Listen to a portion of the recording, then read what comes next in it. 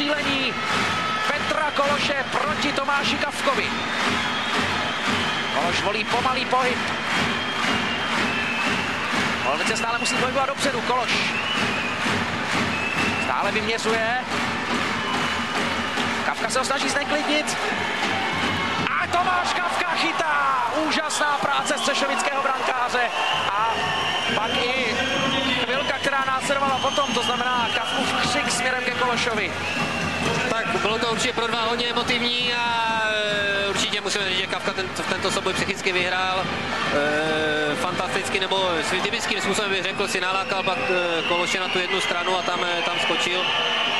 Tam už byl jeden moment, kdy to vypadalo, že Kološovi se dokonce balonek zastavil, ale rozhodčí to pustili a, a Kavka určitě teďka drží ty akcie Tatranu ještě nahoře.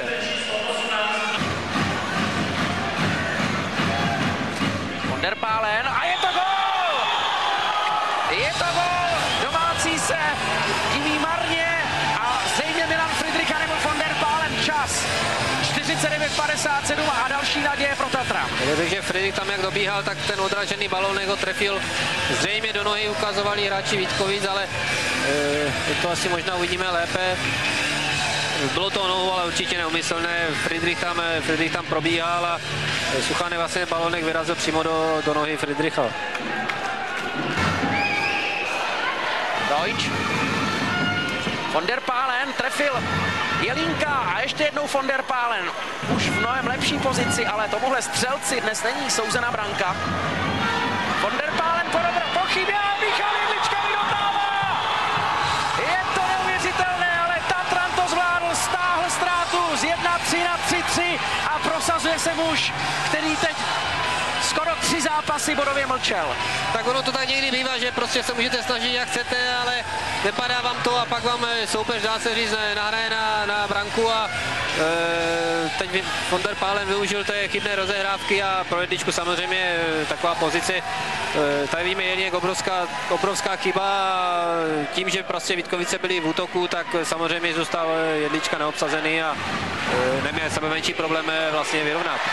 Michal Jedlička skouruje poprvé ve finále 2010, ale v úplně ten nejvhodnější moment v čase 55-40, kdy chyběly 3 minuty, tedy 4 minuty a 20 sekund do konce třetí třetiny. Máme tam, máme tam dobrou standardku, pojďte si to rozhodit. Martin na beka, dáme z toho góla a pošlem je. Já jdu falešný výběh. Pojď sem, udělám, co udělám. Falešný výběh. Přesně. Frýďo, pojď sem. A děláme naši trojku, naši trojku. To znamená, poslouchej, já běžím první, ty běžíš druhý, ukáž to jenom Frýďo, ten je druhý ten výběh.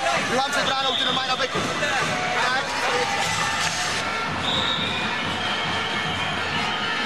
Friedrich. A Jedlička dává gol, je to neuvěřitelné. Čas 59-33 a Střešovice to dokázali. Do puntíku splnili pokyny, které si řekli při dechovém čase. Určitě Ondrova o tom ten florbal je, prostě Vítkovice dělali obrovskou chybu, stáli čtyři vezdí a vůbec, vůbec nereagovali na ten jedličku pohyb a přesně jak říkáš, tak jak se domluvit, tak to rozehráli a buď, buď, buď na jedličku nebo na Friedricha to mělo vyjít a jedlička tam zůstala absolutně, absolutně neobsazen ze strany Vítkovic a dokonce toho využil. Tady jsme viděli pohyb dvou hráčů Vítkovic vlastně proti, proti, e, proti Richtrovi, který tam taky stál a, a vůbec nepokrytý na druhé straně úplně volný jedlička. Friedrich, Čopek a už to vypadá, že to Sešovice ubrání. Tatran senzačně překlopil čtvrté finále a po druhé v řadě nás čeká rozhodující pátý finálový zápas. Přívara. Zažehnáli se jeho zdravotní problémy a Přívara hned vypálil. Muž, který vynechat třetí zápas poprvé v akci. Vávra před brankou. Čas 1.21. Tomáš Vávra. Blesku rychlé zahájení pátého rozhodujícího finále. Tady vidíme tatranský kotel, který se plně raduje. Jan Vávra to rozhodně udělal výborně. Tady vidíme, jak se míček odrazil, on míček zpracovávat. Věděl, že má pouze málo času a trošku se štěstím trefil tu skulinku vedle levé ruky Vítkovického brankáře. Tomáš Vávra se prosadil pouze v druhém finálovém utkání v téhle sérii. A teď tedy připojuje svůj druhý gol ve finále, celkově šestý v playoff.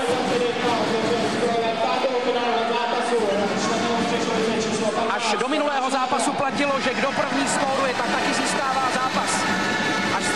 to zvrátili, uvidíme, co bude platit v tomhle utkání.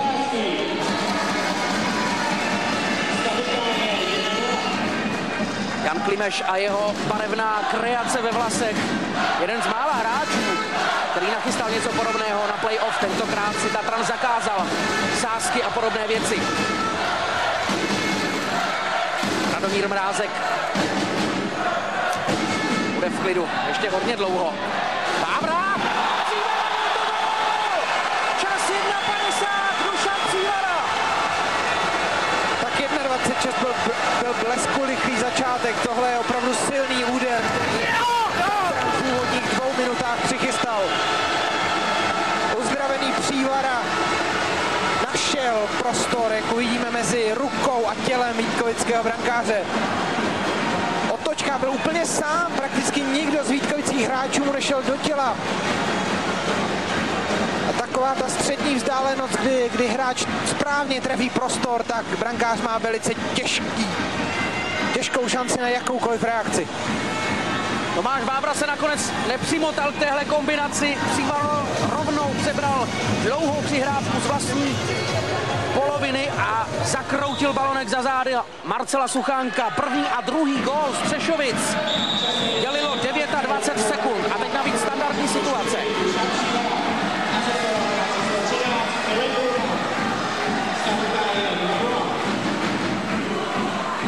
Limeš, Friedrich a tentokrát Suchánek zasáhl. Kološ vyhazuje balonek do zámezí, hosté jsou otřesení. Von der Pálen.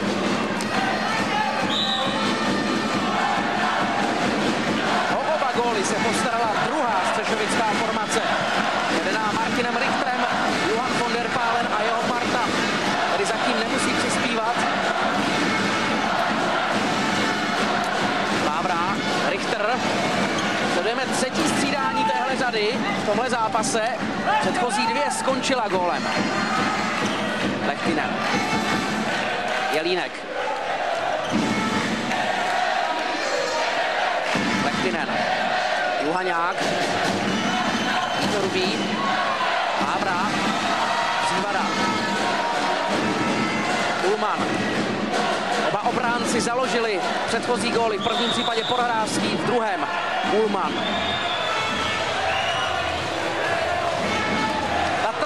Až na výjimku z minulého finále zvládá páté zápasy, zatím bilance 4-1.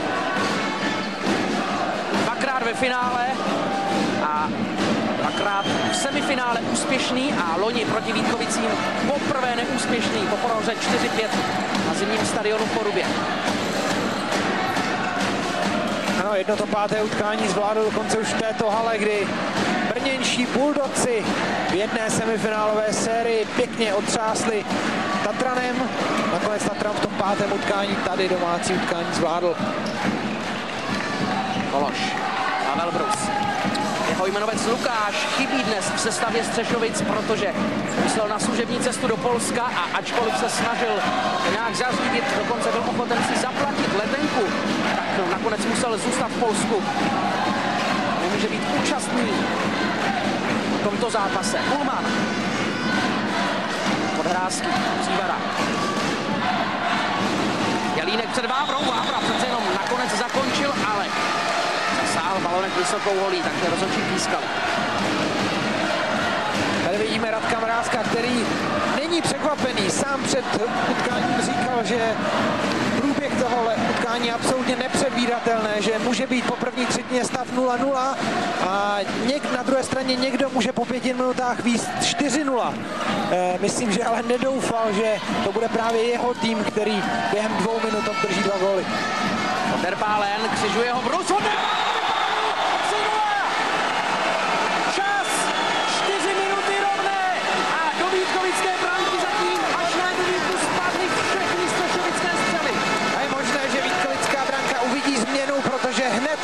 reakce Vítkovického brankáře po tom gólu dávala najevo, že, že možná bude žádat o střídání. 11. gól Johana von der Pálena v 11. zápase playoff a Radomír Mrázek si zcela oprávněně vyžádal oddechový čas a svolává svůj tým teď spíš k psychické poradě.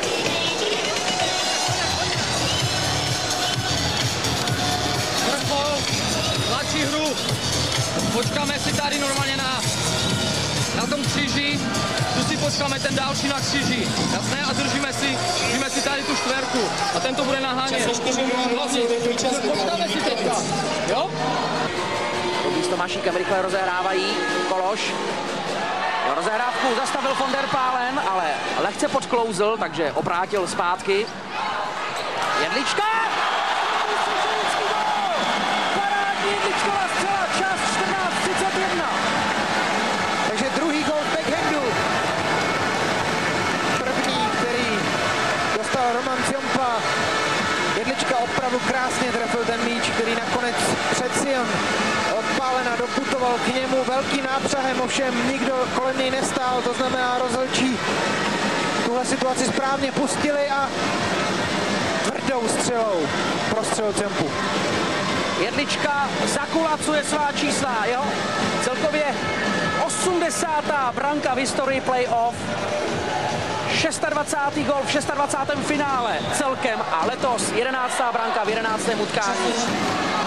Von der Pále na druhé straně úplně volný jedlička, ale balonek se k němu nedostal. Skvěle, Petr Kološ, ještě Dojč. A přece jenom centr, Ciompa, Milan Friedrich, čas 17.24 a tohle je krotina první třetina Tatranu, 5-0. Chtělo by se říct pátý hřebíček do Vítkovice rakve,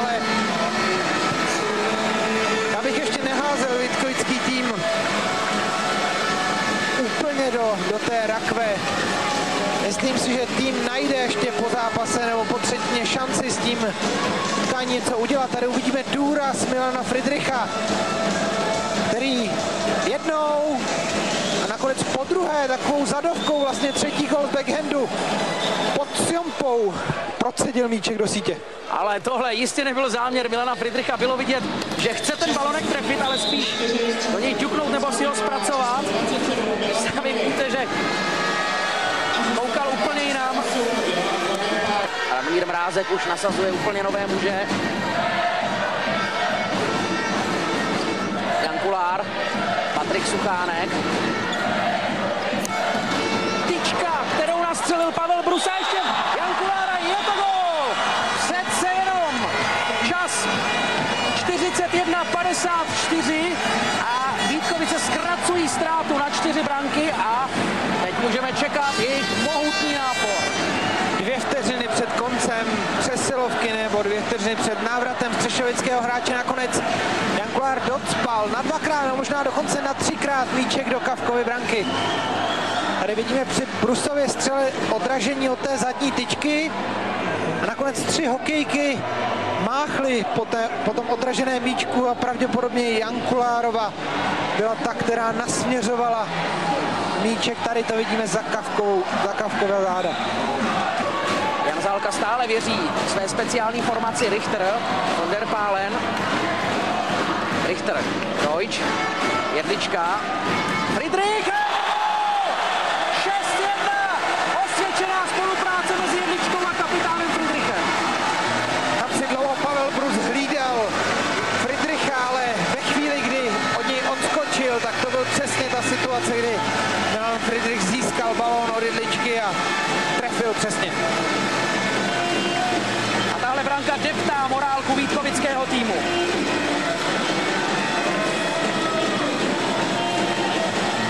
Friedrich přilepil balonek pod horní tyčku.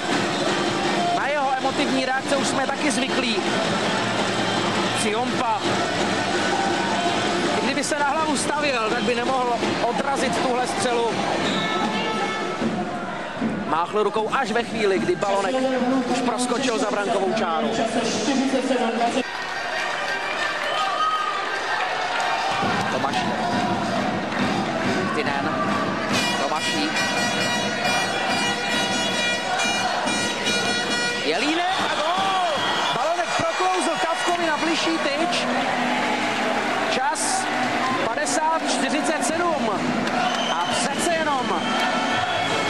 Pozornost ve Vítkovickém táboře.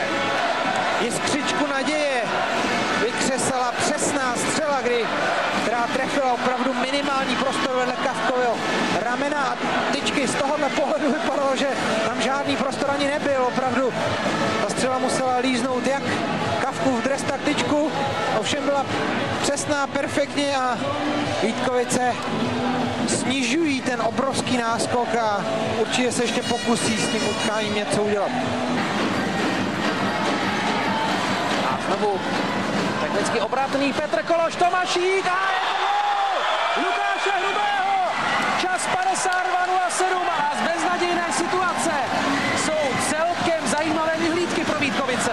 Tak rozhodně, kdo si myslel, že tohle utkání je rozhodnuto, tak se může těšit na zajímavých 8 minut, protože jestli Vítkovice teď zdůraznili svoji hru a přidali, tak po tomto gólu to rozhodně uvidíme ještě dvojnásob. Tady vidíme obrovský dlouhý pas Tokoše, který dokázal Tomašík zpracovat, na něj střelu ještě zasáhl, ale nakonec dokázal Hrubý přiběhnout dostatečně rychle do poloviny prázdné brány zasunout tu dorážku.